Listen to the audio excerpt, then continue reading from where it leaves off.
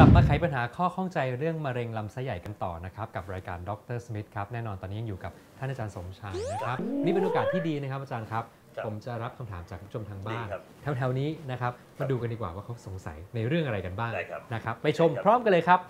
ถ้าเกิดว่ากินอาหารฟาสต์ฟู้ดนะครับผมอ่าจำนวนมากๆ หรือว่ากินเป็นประจำนี้จะมีโอกาสทำให้เกิดเป็นโรคมะเร็งในลำไส้หรือไม่ เดี๋ยวนี้นะครับสังเกตดูครับอาจารย์อาหารที่ไม่ค่อยดีต่อสุขภาพเนี่ย หาง่ายกว่าอาหารสุขภาพนะครับ แล้วก็ถูกกว่าด้วยเดี๋ยวนี้เป็นถูกเหลือเกินยุคมั้งครับเออยังไงดีครับอาจารย์มันเกี่ยวก็ข้องกับโรจคริงพวกๆแล้วนี้อไหมย่างครับที่ผมเรียนว่าจริงๆ ถ้าเกิดอย่างเอ่ออาหารฟาสต์ฟู้ดเนี่ยครับถ้าเราไม่ได้ฟาสต์ฟู้ดแต่เราไปกิน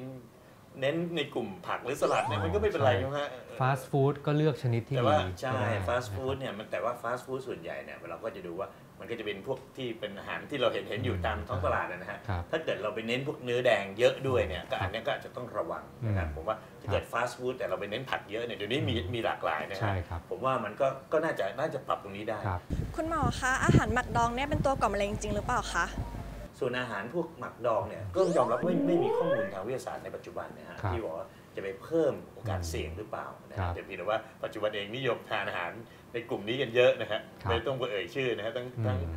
สถานต่างประเทศเลยนะอืมที่เราเห็นกันอยู่ใช่นะครับ เลยนะคครัรับบขึ้นอยู่กับชนิดละกันนะครับคุณผู้ชมครับผมขึ้นอยู่ก็ต้องเลือกให้ดีกับชนิดครับฟาสต์ฟู้ดก็เลือกแบบที่ดีต่อสุขภาพได้ ใช่ครับให้มีกากใยเยอะได้นะใช่ครับครับ ส่วนอาหารหมักดอง ถึงแม้ท่านอาจารย์จะบอกว่า ถ้าไม่ได้มีถ้าเป็นไปได้นะถ้า หลีกเลี่ยงดีกว่าถ้าเป็นไปได้นะครับหลีกเลี่ยงดีกว่า คุณเพระว่ค่าก็ต่ำใช่ครับนะคถ้ารับเกิดอาหารสดถ้าเราดูในแง่คุณค่าอาหารครับอาหารสดกับอาหารหมักดองหรืออาหารที่โตอืมเราต้มจนเปื่อยอะไรเงี้ยเออหรือว่าต้องทำหลายหลายๆครั้งเนี่ยครัผบมว่าผมขอเลือกอาหารสดๆดีกว่าใช่ไหมครับใช่ไหมเพครับราะว่าโอ้โหแถมยังคุณมีหมอโอ้ก็คงคล้ายๆกันใช่ไหมแน่นอนครับอาจารย์เพราะทั้งเกลือก็เยอะเสี่ยงความดันอีกนะครับน้ำตาลก็เยอะเสี่ยงเบาหวานอีกนะครับใช่ครับหันมาทานสดๆดีกว่าประเทศไทยเราแหมผักผลไม้สดเยอะขนาดใช่นี้ครับอย่ามองข้ามเลยดีกว่าแล้วนะก็ครับปัจจุบันกลุ่มที่มีอาหารหมัก หรือหรือว่ากลุ่มที่ไปต้มนานหรือว่าครับที่ทำทำแล้วทำอีกทำแล้วทำอีกเนี่คยรับเขาก็จะให้ระวังสารอนุมูลที่มันจะเกิดขึ้น ซึ่งเราอ๋อเราเราเรากะไม่ถูกเหมือนกันเราครับเราเราคาดเดาไม่ถูกเหมือนกันอืมประเภทอุ่นซ้ำแล้วซ้ำก็เล่าอะไรพวกเนี้ยนะครับคือถ้าผมว่าอาหารสดได้ดีสุดแล้วก็โอเคเพิ่มผักผลไม้ได้อันนี้น่าจะท่านอาจารย์ฝากไว้เลยนะคครัรับบ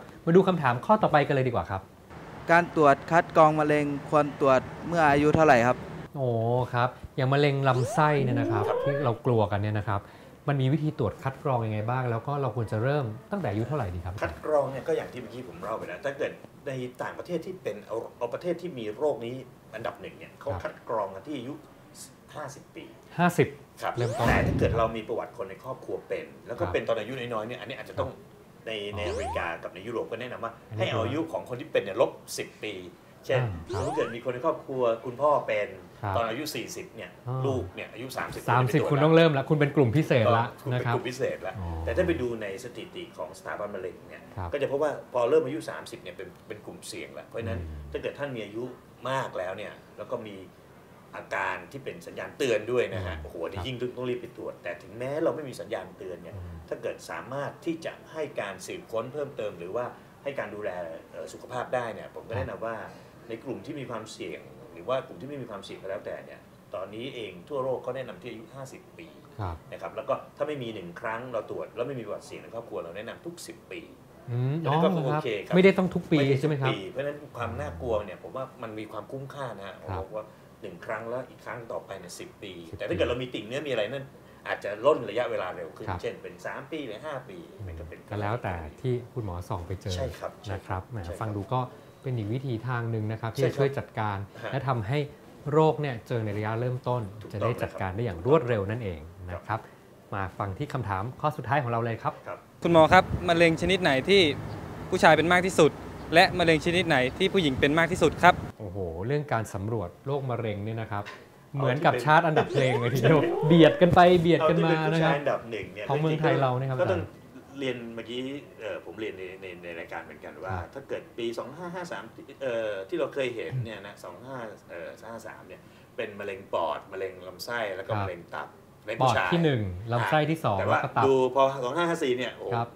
มะเร็งลำไส้เบียดขึ้นมาเลยฮะแซงขึ้นมานะครับนิดเดียวฮะแต่ว่าครับก็พูดง่ายปอดกับลำไส้เนี่ยต้องเป็นยังเป็นอันดับต้นสูสีๆมะเร็งคู่ตับขี้กันมาอันดับสามนะครับ ในผู้หญิงเนี่ยครับโอ้โหผู้หญิงนี่ก็น่าสงสารนะฮะเพราะว่าครับจะมีเรื่องของตัวมะเร็งเต้านมโอ้แล้วก็มะเร็งผู้หญิงทุกคนกลัวปากมดลูกมานะครักบครับตามมาด้วยมะเร็งลำไส้ใหญ่ครับอ๋อครับเพราะฉะนั้นเต้านมปากมดลูกแล้วก็ลำไส้ใหญ่เพราะฉะนั้นเนี่ยถ้าเกิดถามว่าท็อปทรีนะฮะอันดับ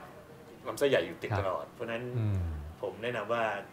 ต้องต้องให้ความสนใจครับแต่ว่าส่วนใหญ่เนื่องจากลำไส้ใหญ่เนี่ยมันใหญ่ครับเพราะฉะนั้นถ้าสมมติเกิดมันเกิดมะเร็งเริ่มต้นและระยะแรกๆเนี่ยคนไข้จำนวนมากชอบถามว่า ทำไมอาจารย์หนูไม่มีอาการเลยคะทำไมถึงได้มาเป็นมะเร็งลำไส้ใหญ่ได้อย่างไร เนื่องจากพอมันใหญ่ปุ๊บพอมันมีก้อนเพิ่มขึ้นอืมคุณหมอโอ้คุณหมอ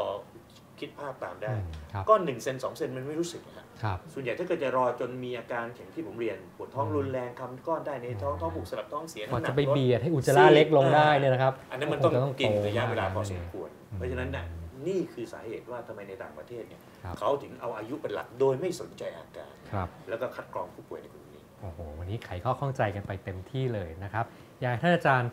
ฝากคุณผู้ชมนิดนึงครับเกี่ยวกับเรื่องการดูแลสุขภาพครับเพื่อให้ห่างไกลจากมะเร็งลำไส้ของเรา ผมว่าเอ่อวันนี้เราก็ได้ทราบอยู่แล้วว่าตัวมะเร็งลำไส้ใหญ่เนี่ยมีปัจจัยเสี่ยงที่เราสามารถควบคุมได้เนี่ยบางประการนะฮะผมว่าเช่น การรับประทานอาหารนะครับเรื่องของการออกกำลังกายนะฮะเรื่องคือซึ่งเอ่อการออกกำลังกายก็คงจะพอช่วยได้นะครับเรื่องของการหลีกเลี่ยงเอ่อ